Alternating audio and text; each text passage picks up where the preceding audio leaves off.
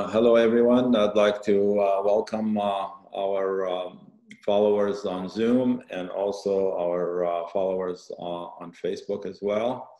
I'm Faisal Saleh, the founder and executive director of the Palestine Museum US. Uh, today, we are honored and uh, fortunate to have uh, Dr. Salman Abu Sitta with us. in a moment, um, a more formal introduction for, for Salman. Um, the, uh, uh, the session uh, is being recorded and it will be available uh, on Facebook immediately at the end of the program. Uh, also, we will have it available on our um, Palestine Museum US website and uh, on YouTube as well. So hopefully if you miss part of it and you want to share it with your friends, you can do so.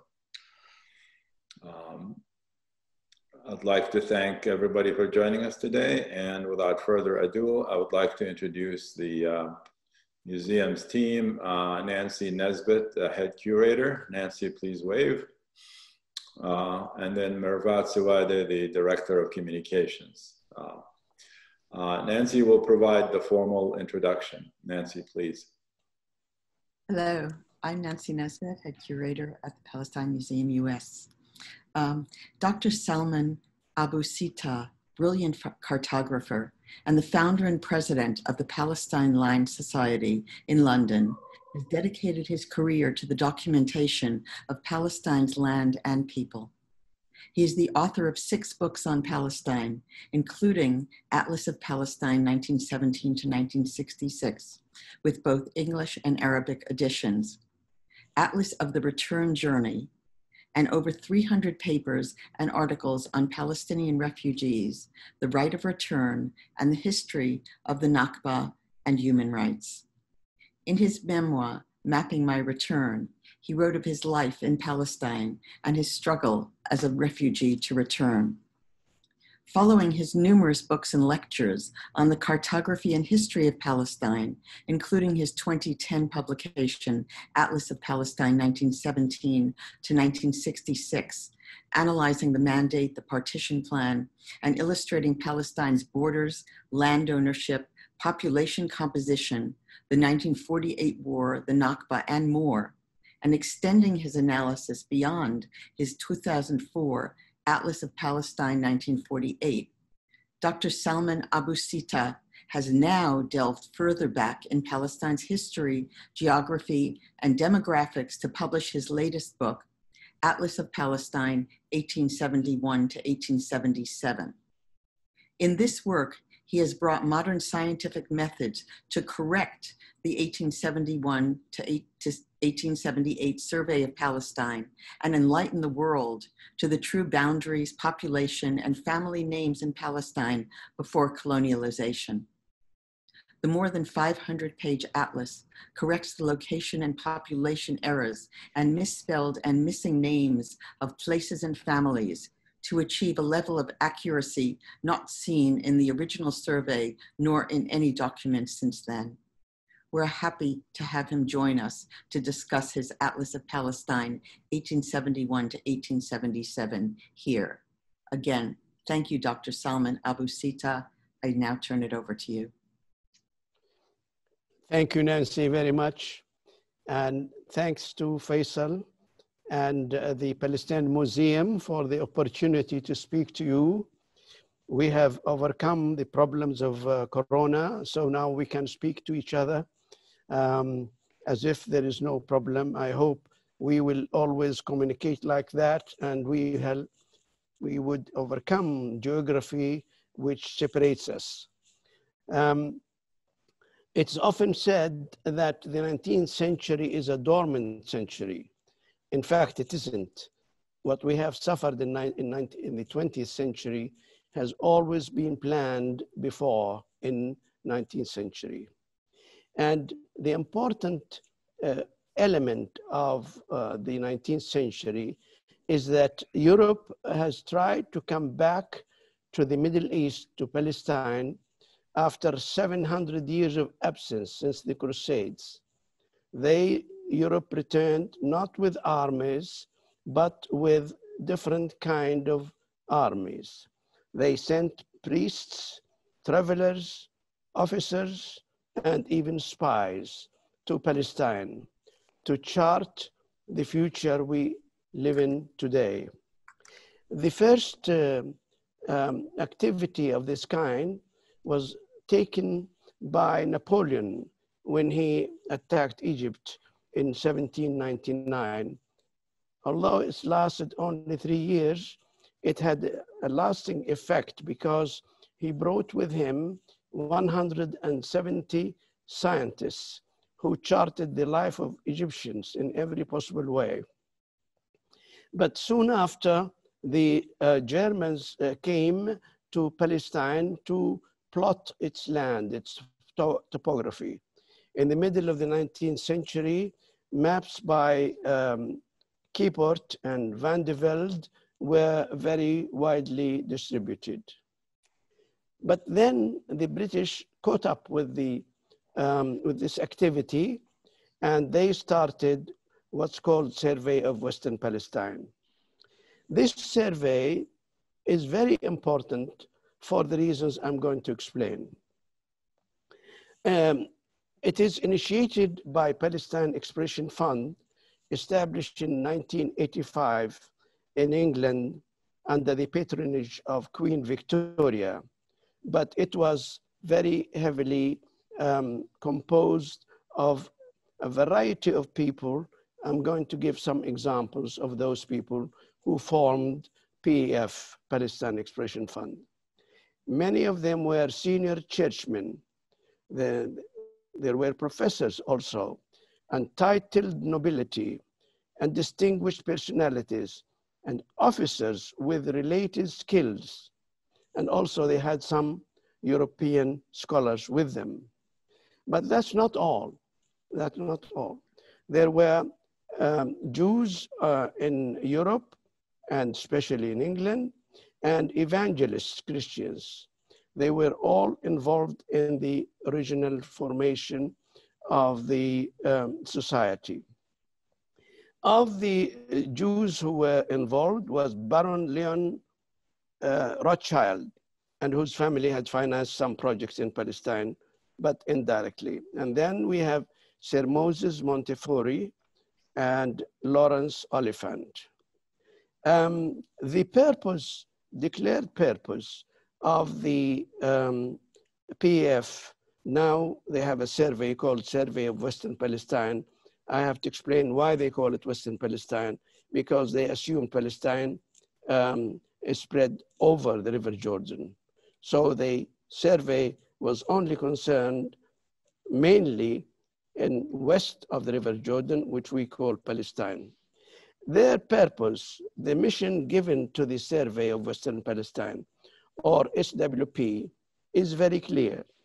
It is to investigate the archaeology, geography, geology, and natural history of Palestine.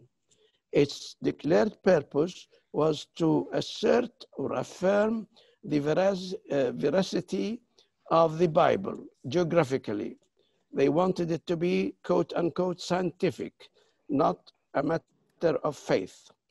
But they also, not very clearly spelled out, but it is in the original document, they wanted to know the location of the Jewish temple, if it was there. They wanted to know the location of the city of David.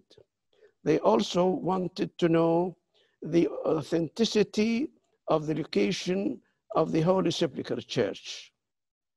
They also wanted to know, these are all subtitles, additional requirements. They wanted to know the date of the construction of the Dome of the Rock. They came to Palestine in 1871. They stayed in the field on and off till 1877. They have set up 190 camps all over Palestine. Each camp was populated by a number of officers, British officers, with, of course, local guys and so on. They would chart and draw the map of the location within that camp, and then they move on to another camp. Um, the maps they have published show when they were here or there. Then they went back to England and they took all these documents with them. They spent considerable time sorting out this data, writing it up, making it uh, in, in, a, in, a, in a manner to be published. We'll explain that in a moment.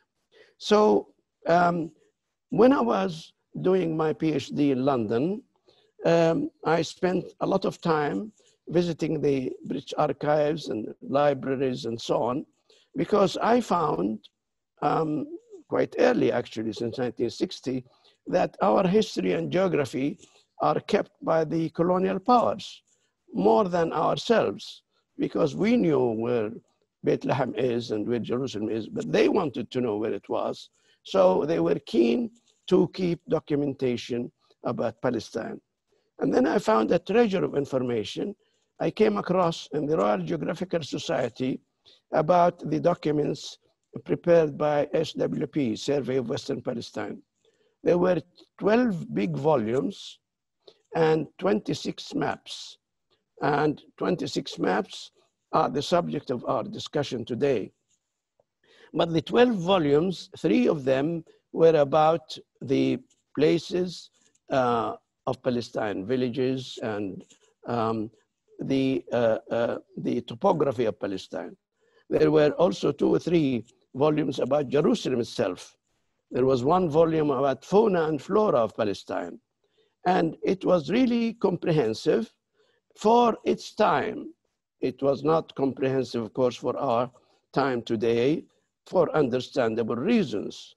So when I looked at them over several years, um, I found there are certain things, uh, of course, to be preserved because it is the only record we have of such magnitude. They listed in 26 uh, uh, maps 9,000 names. Uh, and actually, in some ways, it's better than the French um, survey of Egypt called La Description de l'Égypte. It's better than that because it's mostly um, scientifically based, while the French survey was mostly descriptive. Now, we have three main issues today of the survey. The first issue is the accuracy of the maps. The accuracy of the maps was fairly poor, I'd say why, because they have taken uh, field maps and took them to London they don't know where this field map should be by today's standards, like by geographical coordinates. So they have attempted to find an approximate way where this map of Safad or Akka, where it should be in the world map. Um, the geographical coordinates were not at the time um, well established. And so there was an error in that we compared this with our GIS system, Geographical Information System. We found that the location of points in the map of PF or SWP are shifted to the east by 450 meters, almost half a kilometer. And in the vertical side, in the north and south side, by 100 meters plus or minus. Now, if that was uniform, it will be easy. We shift them once but they were not uniform because every one of the camps, 190 camps, has a different error of itself. So we did several methods described in the atlas how to arrive to the best way to um, uh, get accuracy. And we did. Um, actually, we can say that the average error now is very small, few meters. But that is not true everywhere because it's the average error. Um, the error in some places could be larger, could be less. Anyway, in that sense, the maps now we have produced are corrected to the location. The second error we found that the names uh, in Arabic and English, the names in English are taken from Arab uh, guides who were with them, Palestinian guys, and they recorded it. So as they hear it, they write it in English. Of course, there is no uniform way of converting Arabic and English. In other words, transliteration is not uniform. Now we have a system of that, but for them it was adequate enough. But the important thing is the Arabic names, the original names they heard. These they recorded um, by sound, and therefore they have a difference of uh, fa and qaf, sin and sad, ain and hamza, and so on, which they could not uh, do that. Although they had the benefit of uh, professor of Arabic in Cambridge University. We'll come back to this man because he played the right. An interesting anecdote about that. They have used a man called Nu'man Qasatli, uh, a Palestinian, actually Syrian from Damascus. Um, is Christian, and he was uh, recommended by the British consul. And he actually wrote the Arabic names correctly.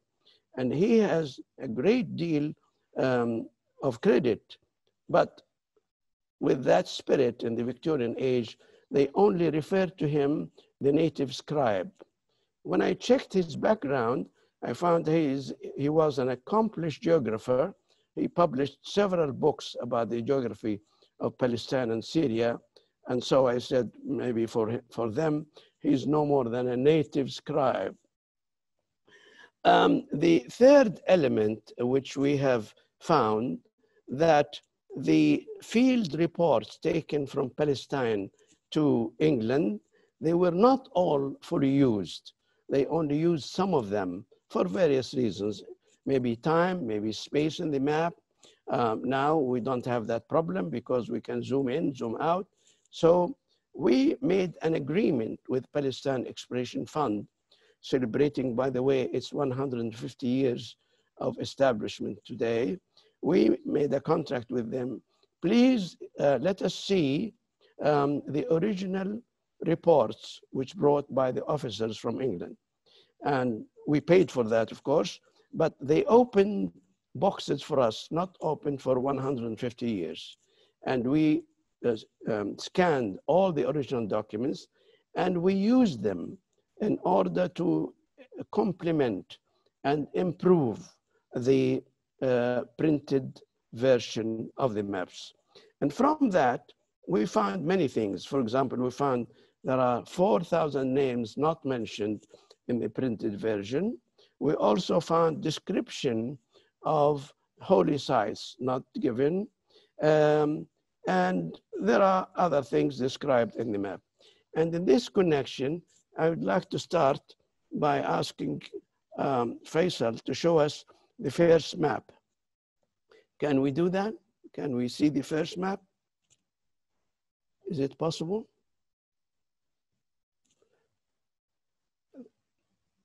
Yeah, the first map, actually, I wanted to show you the limits of the survey, limits of the survey taken.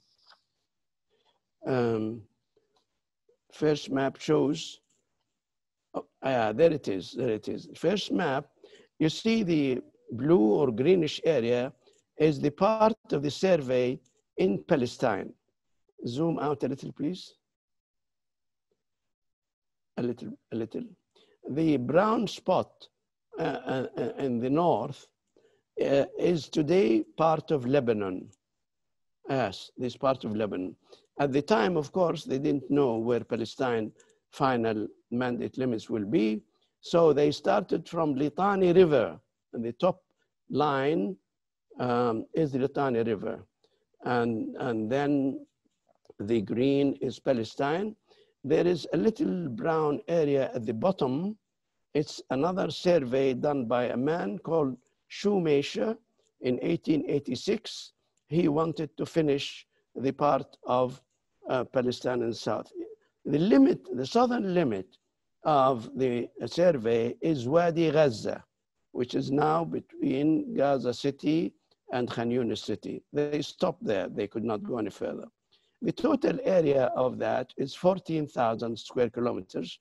The exact number is in the atlas. And um, uh, it represents 56% of Palestine as we know it today. But it is mostly the heavily populated part of of Palestine. Can I see next one, please? And from the 26 sheets, which are shown here in black lines, um, we have created 500 pages shown in, in red. So the 26 sheets in a scale of 1 to 63,000 are made into 500 pages to a scale of 1 to 25,000, where you can see a lot of detail, a lot of detail. Next one, please. Here are two examples, uh, some examples of uh, what we have done. On the left side is the original uh, PF survey. And on the right side is our atlas. What is the difference? First of all, we have enhanced the terrain using NASA, NASA satellite images. And so we can uh, show clearly the hills and the wadis more than before. We also outlined in uh, white windows the names in both Arabic and in English. In the survey, it was only in English. We have put in the name in Arabic and English. Um, we also added from the field maps all the things we found not found in the original survey. Um, we also put symbols of things. We have changed the color, we, the wadis and the rivers in blue and the roads in black and so on.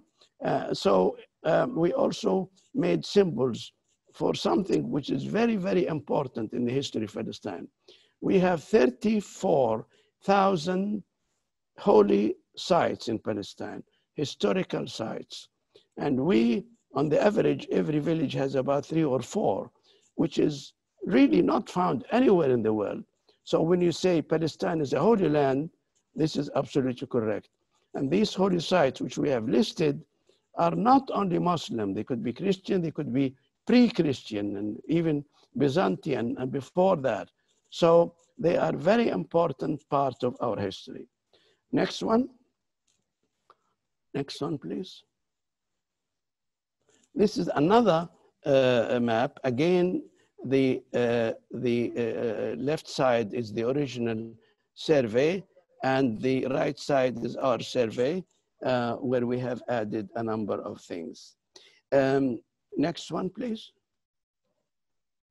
One of the beautiful results of this uh, survey we have made is uh, we found um, one of the volumes done is called Fauna and Flora of Palestine marvelous work published in 1886.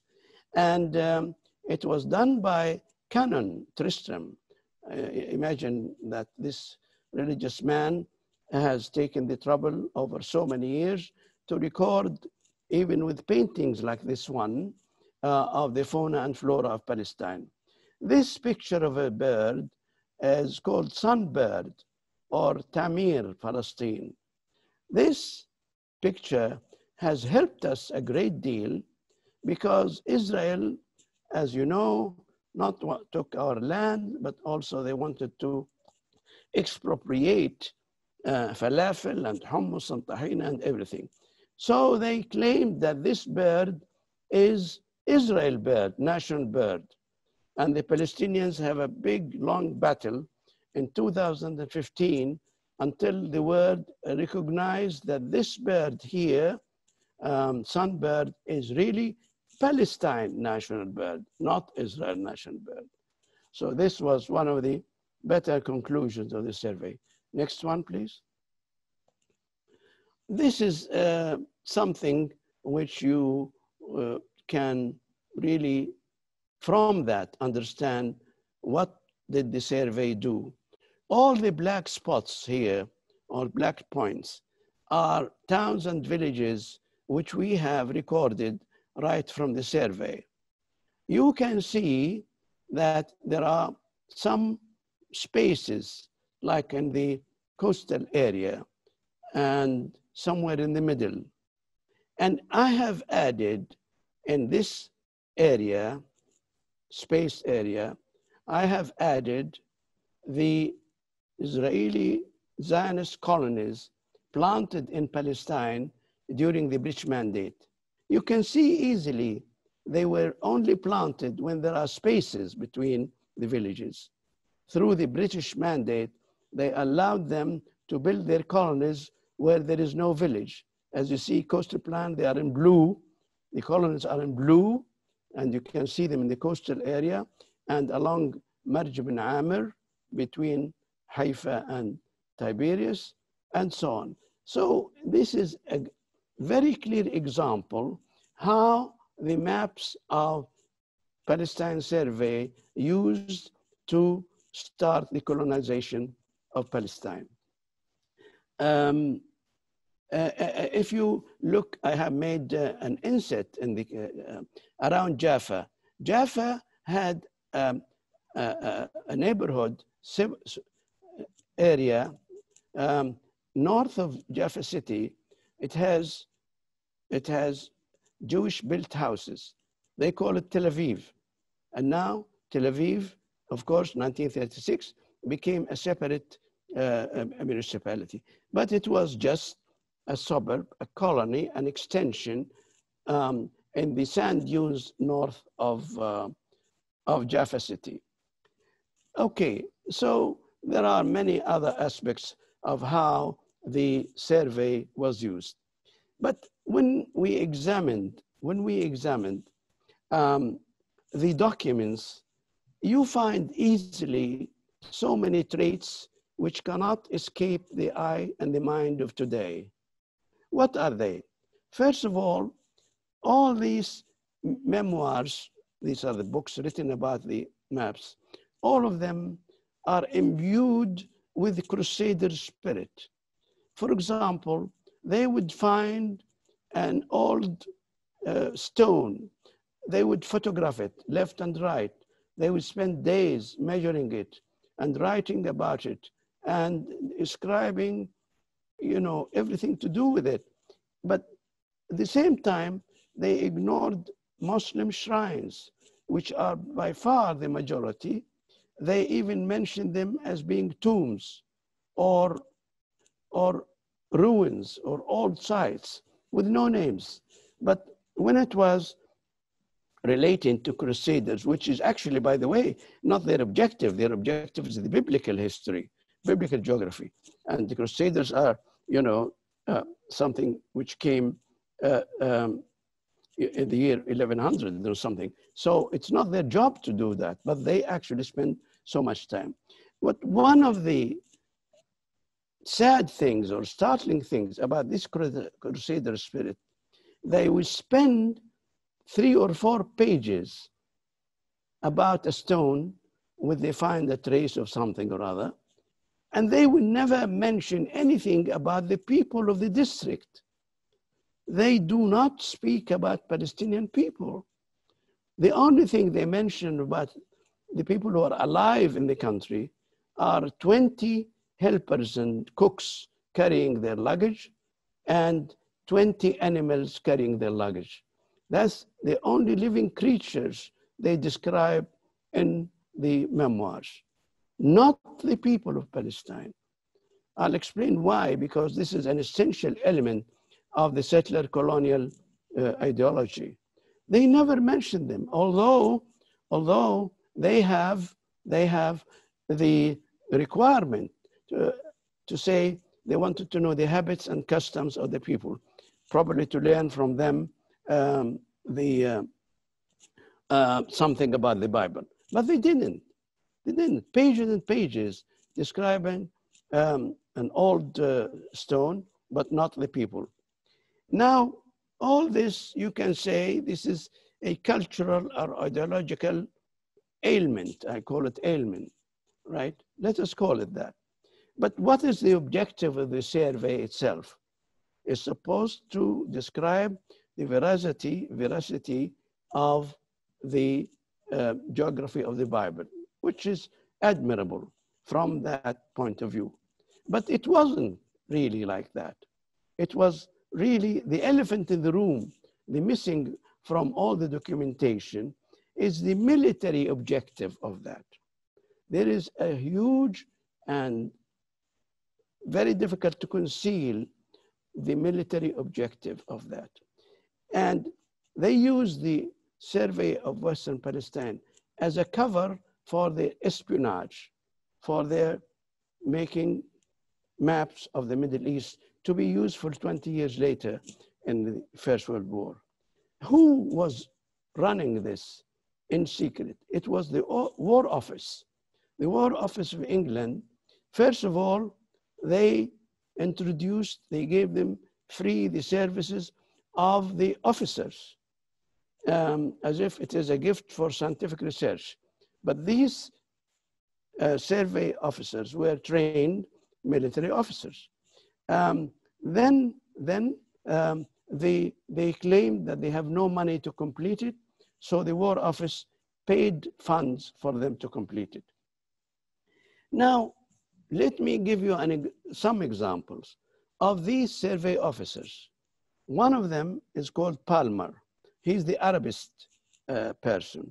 He was professor of uh, Arabic in Cambridge, and he was sent to uh, uh Egypt uh, in 1882 to uh, agitate the tribes of Sinai against the Egyptian government because at the time there was a revolution in Egypt by Urabi Pasha and they were afraid he would block the Suez Canal. So they sent this mission uh, to Sinai with bags of gold to bribe the sheikhs of Sinai so that they will not obstruct the Suez Canal or they do not sign, side, take sides with Urabi Basha. And of course, the end of this Palmer is very uh, sorry because he was killed and the bags of gold disappeared. There is another man who came, became in history very well known. A young man of 20 years old, he started the survey. His name is Kitchener. Kitchener became very famous. He was very bright. He went to became the, uh, um, continued the survey in south of Palestine, in Garandal, in Wadi Araba, and actually, he ended by being the chief commander or Sirdar of the Egyptian army. Very meteoric rise of this young man. He became actually Minister of War in 1916. He drowned in the sea at the time. So this man, his career is descriptive of the objective of the survey. There is another man, a Captain Stewart Newcombe, very bright man again, he actually uh, made a survey of southern Palestine from Gaza or Gaza to Aqaba. And this map uh, was very detailed, showing how many wells there are, uh, what the what water is like, whether it's salty for the uh, potable or not, and the roads are they accessible by beast or vehicle, and all these maps, I'll tell you in a moment, um, have been used. It's an excellent map. But this man, Newcombe, who made this map, he surfaced again 10 years later. He did this map in 1944. He surfaced again 10 years later. Where did he surface? Where did he appear again? He appeared again in northern Palestine. He charted the boundary of Palestine with Lebanon and Syria in conjunction with his French colleague, Captain Paulet. Captain Paulet and Captain Newcombe are the people responsible for what we call today Palestine, Syria, and Lebanon. So it wasn't all that innocent. Yeah. But we have another man, which was very well known, of course, at least in the movies, T. Lawrence. T. Lawrence was a novice. He was introduced in the 1914 to be uh, an archaeologist. He wanted, with his colleagues, to write a book about called Wilderness in Zin, Zin Wilderness. Ostensibly, it is to study the archaeology of Palestine, but actually it was to report about the Ottoman forces in the area. Then the man called Schumacher, uh, which I mentioned, is a German officer affiliated with PF, but he was reporting on the Hijaz Railway, which was the most important uh, transportation project in 1905. And he actually made a detailed map of the Golan Heights. The Golan Heights, since then, became uh, an integral part of the Zionist demands to take over Palestine and the area around it. So all these people served their purposes clearly. And um, when he took uh, Beersheba in the 20, uh, 30th of November, 30th of October 1917, he relied heavily uh, on these maps. I show this in the atlas, how he relied heavily, how the maps are. And when Allenby um, took Beersheba um, on 31st of October 1917, he sent a telegram to London saying, we took Beersheba, Jerusalem will be your Christmas present. And the cable arrived in London on 1st of November. Second day, Balfour opened his drawer and he took the agreement. He agreed already with the Zionists and he made his infamous declaration on 2nd of November 1917. So the history is uh, now very clear how we arrived at this. Now, uh, I will, um, uh, forgive me, uh, yes, here we are. Um, I, I, just want to add one thing uh, uh, to the list of the officers who were part of this. Herbert Samuel, we know who Herbert Samuel is. He was the Zionist uh, Jewish first British High Commissioner of Palestine. He arrived in Palestine in uh, end of June 1920 to be the High Commissioner of Palestine. The job of the mandate is to bring Palestine to be an independent state like Iraq. It was mandate class A, like Iraq. And now we know Iraq became a country and Palestine was allowed to be um, um, a place where settlers, Jewish settlers from Europe to come in. Now, Herbert Samuel hardly smelled the air of Palestine two months later from his arrival. He sent to London a list of 55 uh, village names in Palestine taken from PF survey and telling London to wipe the names out and put Hebrew names for that. That's a measure of the honesty of someone who came to help Palestine. Imagine his priority was to change the nature of Palestine by uh, introducing Hebrew names for these. Now, as you can see, uh, uh, all these maps have been the blueprint of the Zionist colonization of Palestine.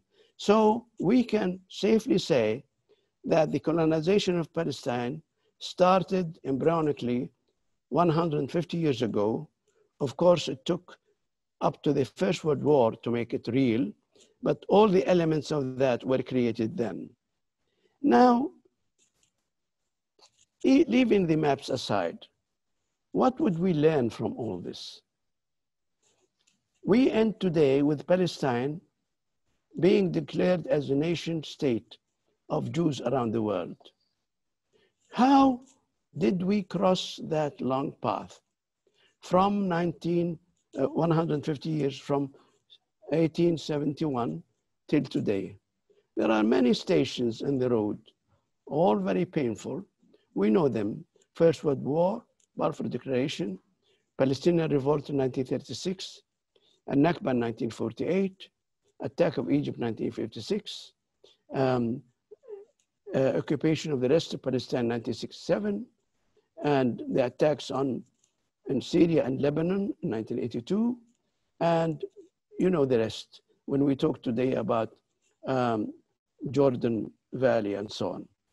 Now, it amazes me, it amazes me how many wars were waged on us in these 150 years. So many wars. Let me count some of them for you. I counted 10 kinds of wars, not military battles, kinds of wars, 10 kinds of wars. The first kind of war is a military one, which we all know, how they conquered Palestine from an area of 6% during the British Mandate to 100% and more.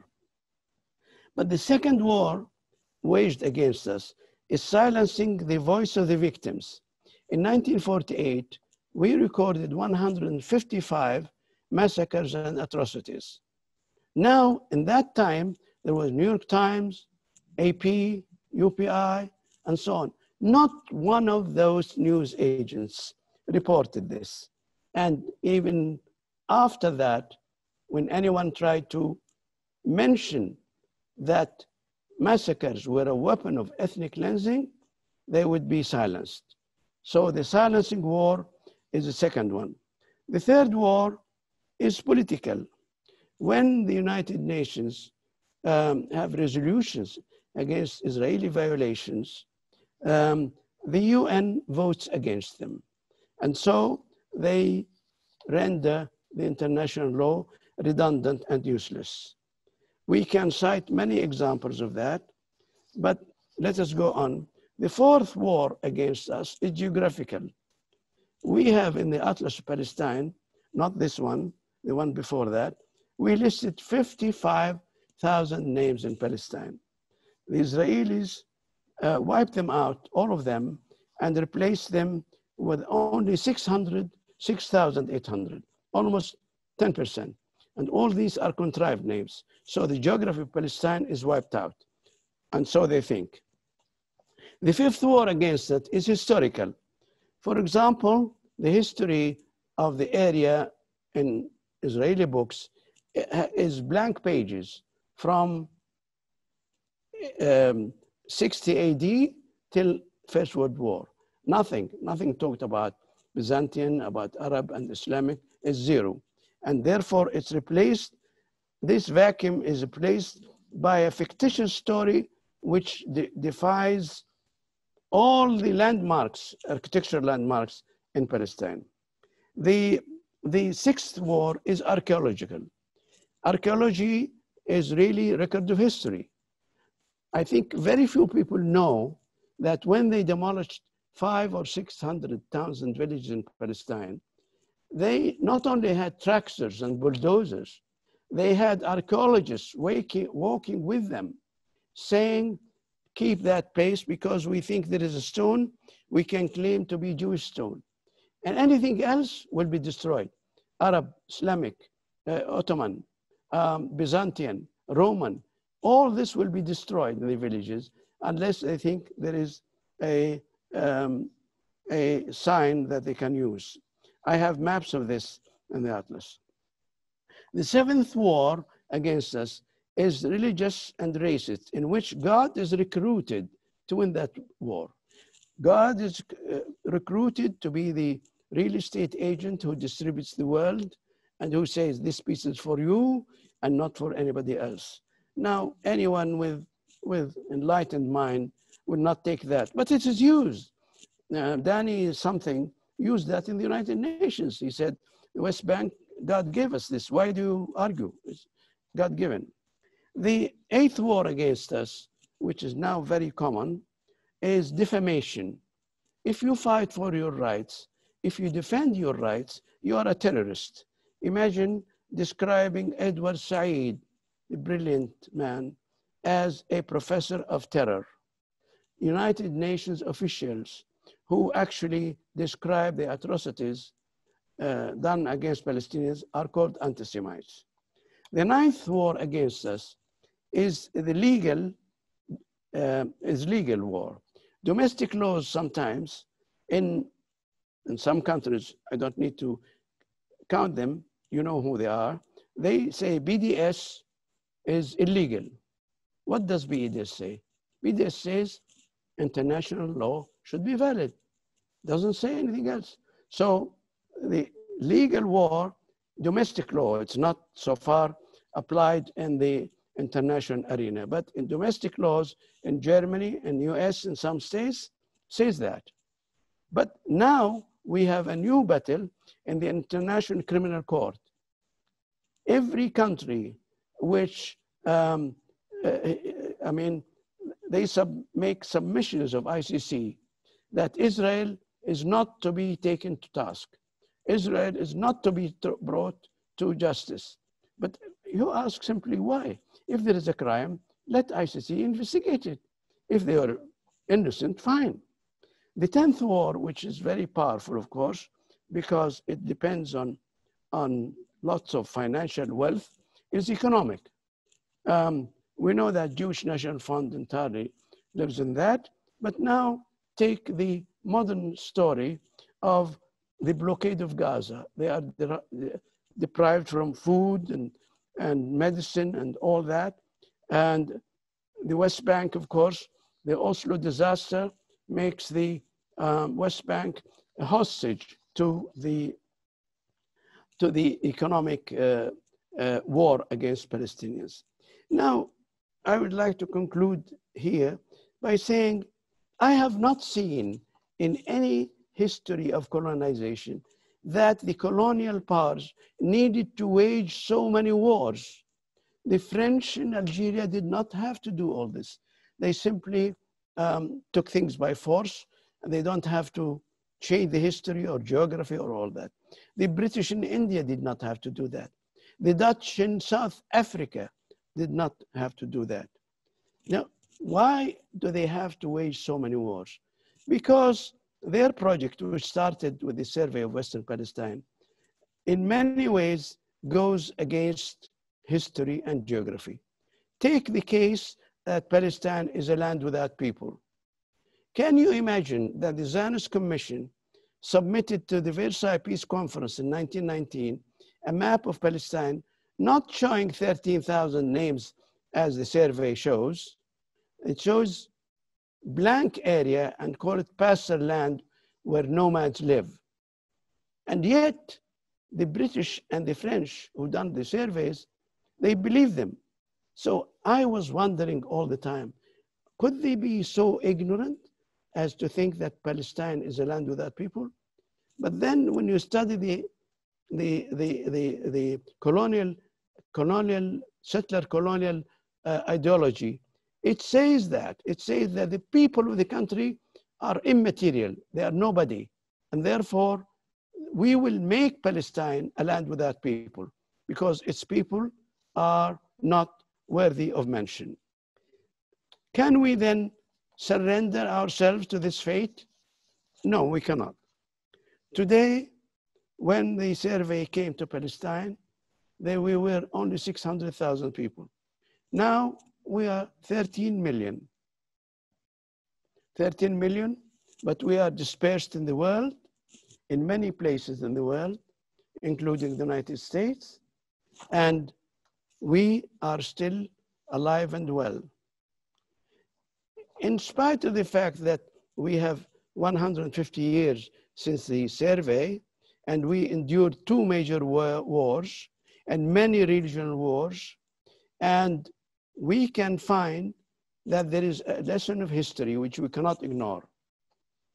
The demise and abolition of racism and apartheid, fascism, Nazism, formal communism, the end of colonial projects in Asia and Africa, all of those, all of those have vanished in the last century, except in Israel. Could this last? It's my belief that the people of the land of Palestine will triumph, that they will be restored to their land, that the last colonial project in the world will be dead, as others did. And will remain, however, and this is the sad part, I conclude by this instance, it will remain, however, this tragedy of Palestine, the colonial project in Palestine, it will remain as a black dot in the history of those who created it and a good lesson for humanity to learn from it and not repeat it ever again. Thank you.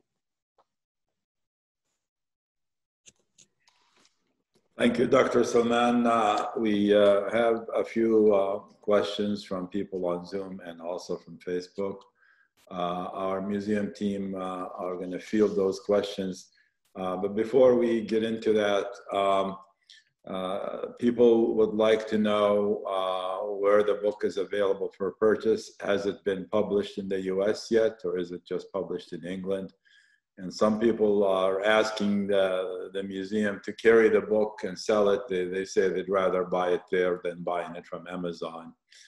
Um, so uh, please tell us a little bit about the availability of the book in the United States. Yes, um, the Atlas is in the printer shop now, and it will be available uh, uh, within, within July. Um, uh, it could be shipped from anywhere where uh, not anywhere, but some places where we, where we have a store, um, we would welcome uh, any party in the United States to be a distributor because uh, it is heavy, two and a half kilo, uh, kilograms, and the transportation is expensive.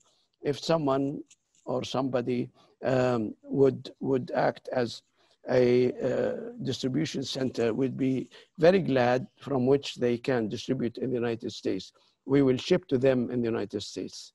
Um, so we are ready to hear any suggestions now or later. Yeah, we uh, the museum will put their name in on that list with you. Uh, we're happy to do that, and uh, we will discuss that offline. Thank you. Um, Mervat and Nancy. Mervat, uh, questions, Mervat? You have unmute yourself first. Yes, we have a few questions from um, Zoom. I'll uh, read out the questions in the order in which uh, people posted them. So the first question uh, from Dalal Hamoude, she's asking what was the stance of the Ottomans at the time and what factors made the survey possible? Sorry, uh, there is some noise here. Okay. I didn't get the question. Could okay. The question Dalal. was, yes, uh, what was the stance of the Ottomans at the time and what factors made such activity as the survey possible? Uh, sorry. the Ottoman. To... You, you can't yeah, hear me? I seem, seem oh. to lost the image. Uh, uh, we, uh, Can others hear me? Can others hear me? I, yes, yes. Yeah, I hear you, okay. but okay. there's no picture. There's no uh, picture. We can see you and we can hear you. So go mm, ahead. Okay, never mind. Uh, what, what did the uh, Ottomans say about that? Correct. And what factors made the survey possible? Yes, this is a very good question uh, it puzzled me how could the Turks allow this? Um, uh, I, I, think the reason that they have posed themselves as being archaeologists, looking at old uh, artifacts uh, that uh, they uh, want to dig in history and um, that the country is very rich in history and they want to do that. But there are instances, like in 1914, when the, the threat, uh, the British threat to the uh, Ottoman rule in Palestine became apparent. And so they stopped them. Um, but they managed to do it uh, through bribing of some officials. Um, uh, this is a very valid question. For example, when they did surveys in um, Jerusalem, which precedes that survey, um, they, uh, some mutasarrif, which is the governor of Jerusalem, some of them kicked them out. Others allowed them in. So it is a sign of um, the, the loose control of the Ottomans. Let us remember one thing after the Crimean War in 1856 uh, between Russia and, and, um, and Turkey, um, with, with the help of Europe, um, there has been a lot of pressure on the uh, Ottoman rule in Palestine to be more relaxed about foreigners. They allowed them to come in, but in small doses. They allowed them to set up consulates. For example, all the European consulates have been established in Palestine at this time. The Russian consulate was established in 1834 and the, um, and the British one in 1856 and so on. Um, so there was uh, some kind of uh, uh, intimidation, if you like, um, uh, of the Turkish rule, and they have to be a little bit more lenient. Through that hall, uh, these surveys were made. And we have a follow-up question on that. If uh, from Beverly Voloshin, I hope I'm pronouncing the name right.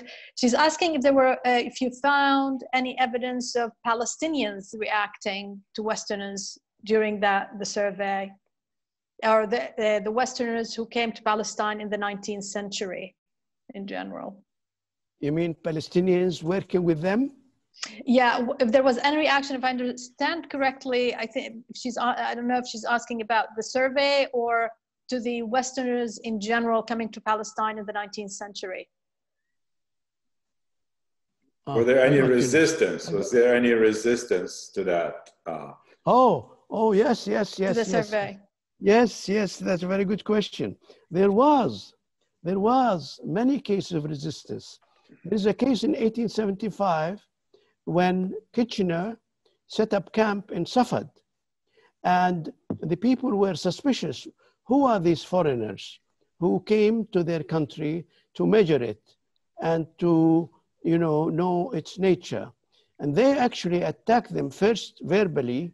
They had a quarrel between them, and Kitchener ended with a, a stone uh, hitting his forehead. She was bleeding.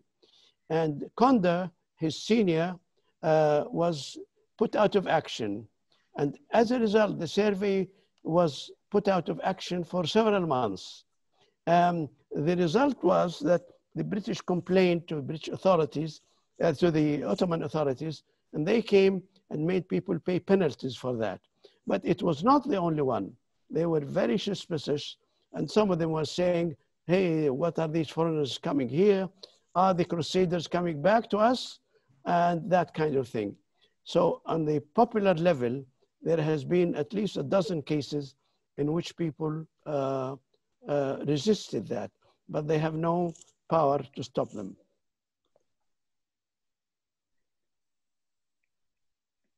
Next question, Murat. So uh, question, next question from Amr Karim.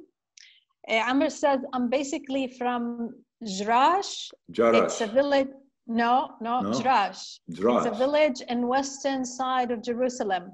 I have Oh. found my village name on Atlas spelled wrongly in Arabic and English on the tables mentioning the inhabitants, and it does not exist on Atlas map. Is there any possibility to locate my village considering the correction of Dr. Salman, Dr. Salman has done?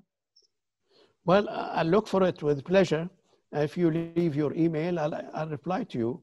Um, uh, the name is familiar. Uh, I can't think of, uh, you know, remembering it, but I can, I can.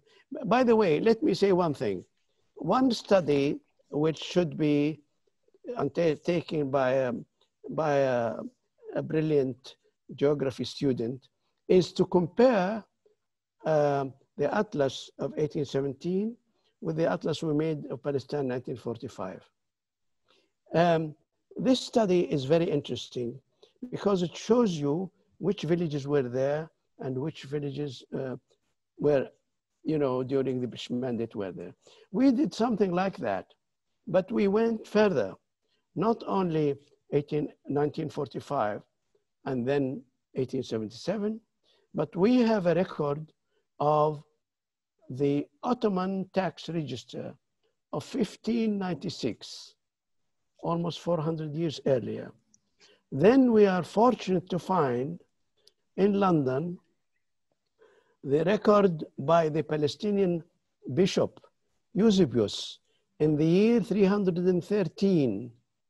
He made a book, geographical book, place names, to help the pilgrims to Jerusalem how to find their way. So we have these four elements and we compare them. We compare them and it's remarkable that the location is the same. The names are very frequently the same with slight phonetical changes. And of course, not to mention Beit Lahem and Nasra, but also mention Rama and uh, Ar-Ram and all these names, they are the same. And I would say that the villages listed in Eusebius, Bishop Eusebius list of three, 313 AD could have been um, the place where Jesus Christ was walking. He must have been walking in these streets. Now, all this is recorded. And to my great regret, and in fact, to the regret of humanity, most of these are destroyed by Israel in 1948. And in the Atlas, we show the names of those which are 2,000 years old, and we show their present location, and we show which ones were destroyed by Israel in 1948. Thank you. Uh, next question from Facebook from Suraya Misleh. This is not uh, specifically related to the maps, but it's, it's a history question. Uh, she says, um, can you talk and indicate materials about Palestinian women and resistance, including in literature, during the revolt of 1936 to 1939? Have you yes, gotten into that topic? Yeah, yes, yes, that's a good question.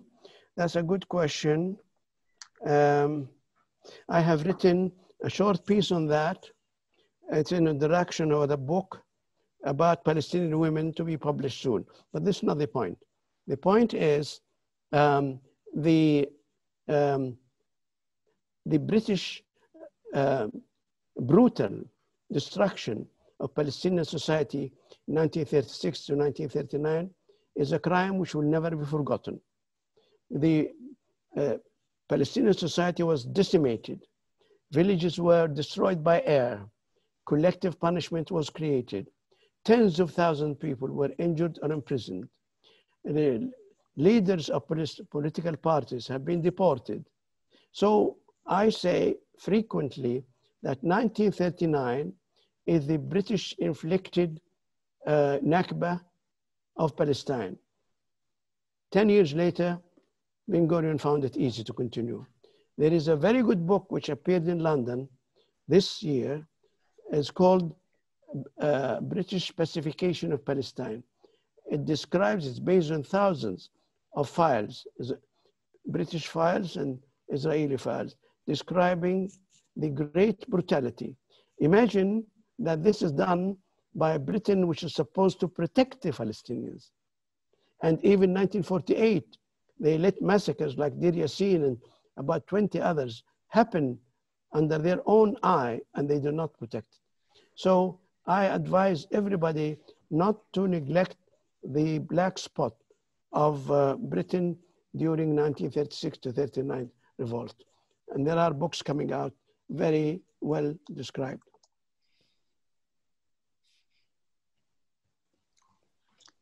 Okay. Um, have another follow up on the Ottoman uh, question.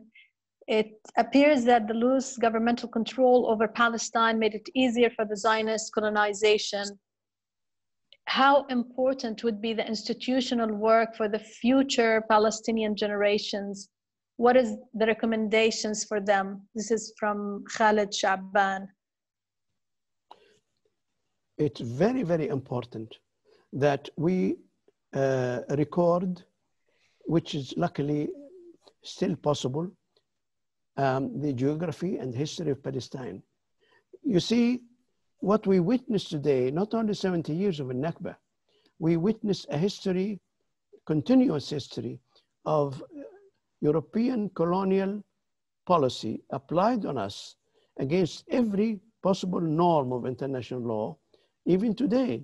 We are not talking about Roman history. We're not talking about um, something lost uh, we are talking about the live memory of many people like me who witnessed a Nakba. So um, our past is our present. And therefore, to study it is not a luxury, It is like reading your newspaper, except that you are a victim in newspapers. You are not reading it about any other people. And that's why silencing our history uh, is so important for the Zionist ideology. Unfortunately, some Arab governments succumbed to it.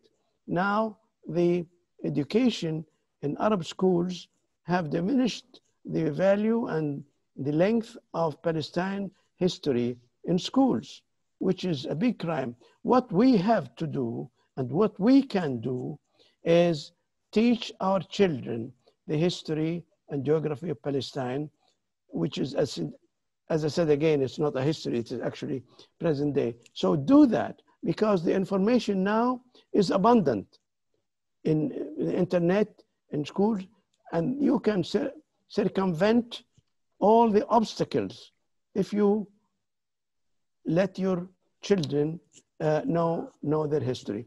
Without a history, you have no identity, and therefore they should know their identity. It is quite possible now. There is abundant supply of information if you just search a little bit, and it is very powerful. Even take Ilan Pappé, uh, who started the groundbreaking book, uh, Ethnic Cleansing of Palestine, which we knew. We knew everything about it. It's published. Now it's published in several languages. It is now possible to get the information unlike before. So it is on us, it's upon us to teach our children. Um, Dr. Salman, uh, there's a question uh, from Dalal. Uh, are your works used in universities? Uh, are Palestine studies of this type taken up by young researchers in universities? You mean young researchers in other universities, are they taking up Palestine studies? Are they using uh, your, your books and documentation in their, uh, in their research? Uh, yes, we, we receive a lot of questions from students. They wanted to know more information. Um, for example, in something which most of you know about academia.edu, which records who sees what, we have uh, probably recently I looked, we have 289 mentions of our work in the literature. Um, but still, it is confined to students who want to know the truth.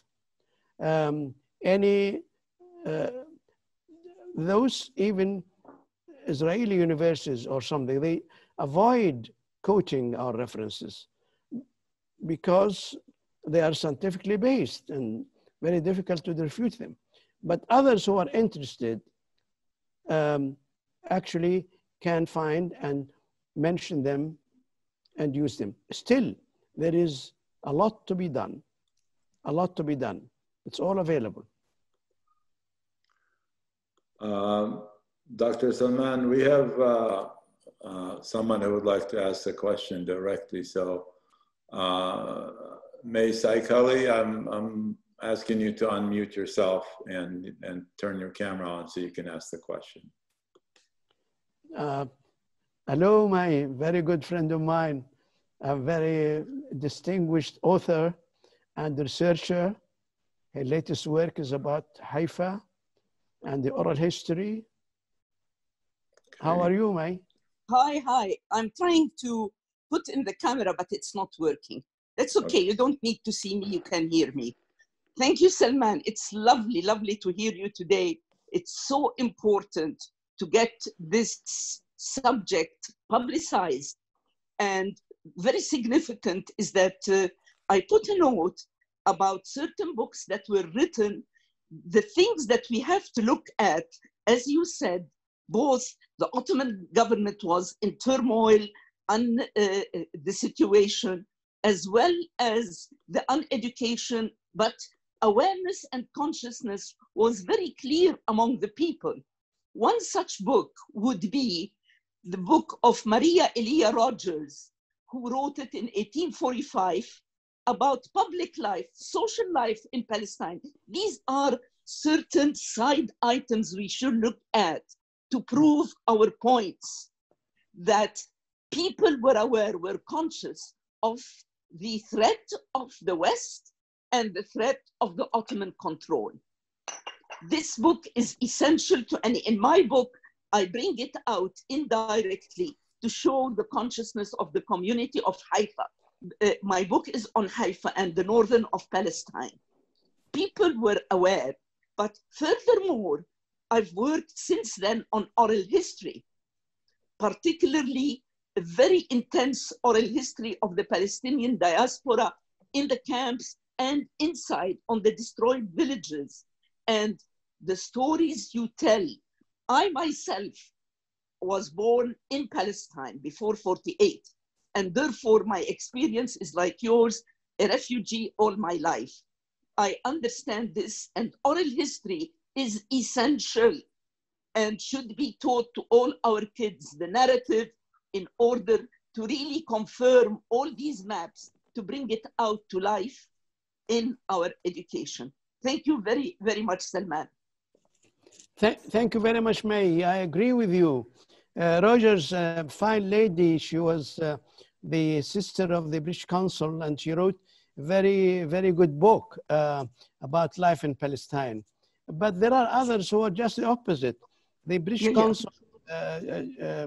Uh, Finns, Finns, he oh, was so, so much racist and he, he was welcomed by Palestinians and visited them and so on.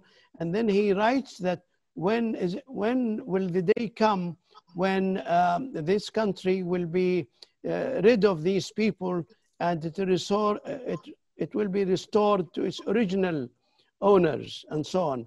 The, uh, his wife, Elizabeth Finn, write uh, that the Fallahin of Palestine have no humanity. They don't have a sense of humanity. So Rogers, lady, uh, uh, uh she wrote that book, uh, uh, is an excellent one, but it is an exception.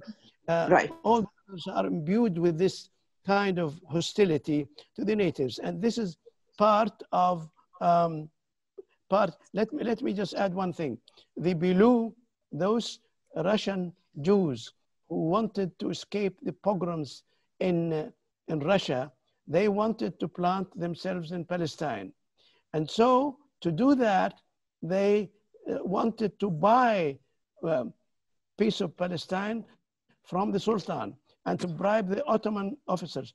And it never occurred to them to, to see how the Arab people of the land they want to go to um, react. They actually ignore them completely as if they don't exist. So that this is an element of, um, of, of, colonial settlers um, that the people don't, don't count. We want the land without its people. That's their ideology. Correct. Correct. Yes. Uh, we, we, have time for one more person. If anybody else would like to speak, uh, please uh, send um, a chat quickly. Uh, uh, we have one more question, uh, Faisal. Sure also a good one. Uh, so I now I lost. I don't know who asked it, but basically they're asking if the Ottomans had any maps at the time of Palestine. Yes, this is a good question. The Ottomans created a number of maps, um, and they were purpose-oriented maps. For example, the railway they uh, they built from uh, Damascus through Palestine to Medina. They had maps for that. Uh, they had maps to serve certain projects they had. In other words, they, they had purpose-made maps on some localities for some purpose. Uh, I have not seen, maybe I didn't see, but I have not seen a general map um, of all of Palestine except, except the general maps which are very well known, the names of localities and roads leading to them. In other words, they are very large scale. Of course, they have maps to show where Jerusalem is and uh, Nablus and Haifa and Akka, but these are like traveler maps. The detailed maps they have made only for projects they were interested in. That's what I know. Right. Thank you. Samia, would you like to say something? yes, basically this has been brilliant and moving and I'm eternally grateful for so many. You're, you know, you're our crown jewel. And I, I know of no one who's done research like that that is so great. I wish we could see mine. Uh, that would be totally lovely if you could turn on the, the video. So just great thanks and great admiration. I cannot say anymore, just keep repeating. Uh, and I would have a million questions, but we have run out of time. Maybe we should bring you back again. Yes, yes, And I the same think, for uh, I. if you are willing to come again, we'd love it. yeah, I- I, I think Thank, we. thank we you, would- my dear Samia. Thank you, my dear Samia. Always to see you and to hear you is always a pleasure for me. Yeah, apologies to the rest of participants. We have a few more questions, but I think we're we ran out of time. Yeah, I think uh, we, we'd like to bring uh, Dr. Salman uh, one more time uh, in the near future. Uh, we look at this as, uh, as a first step, and there is such a thirst for the knowledge that Dr. Salman brings, and a lot of people would like to know more. Uh, and uh, this was just an introduction, hopefully and we look forward to other opportunities to uh, meet him again and uh, and benefit from uh, his reservoir of Palestinian history. Uh, we are very grateful for Dr. Salman Abu Sitta for being with us. Thank you so much, and we're also grateful to all the work you do for Palestine over the years. Um, we'd like to thank uh, our followers on uh, Zoom and those who've joined us on Facebook. Uh, thank you so much. Uh, a recording of this will be available on Facebook and uh, uh, a better recording, an edited recording will also be available on the Palestine Museum website on, on YouTube as well within a day or so. Thank you. Uh, thanks, everybody. So Thank you, much. Faisal. Thank you very much, Faisal, Thank you. for inviting me, for giving this opportunity to talk and uh, uh, communicate with your uh, friends and people who love and uh, appreciate the Palestinian Museum uh, mission. Thank you. Thank you very much. Uh, thank you, Nancy and Mervat from the Palestine Museum team. And uh, we hope to uh, see the rest of you uh, at one of our future events. And, like we say, ma salama.